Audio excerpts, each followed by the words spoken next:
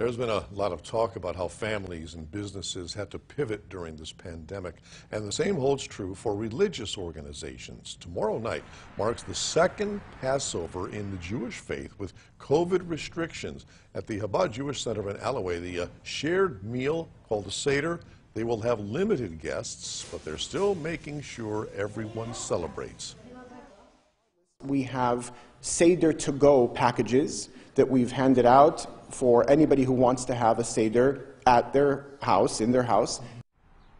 And the synagogue is also making individual unleavened bread products available as dietary observances remain in place for the following week.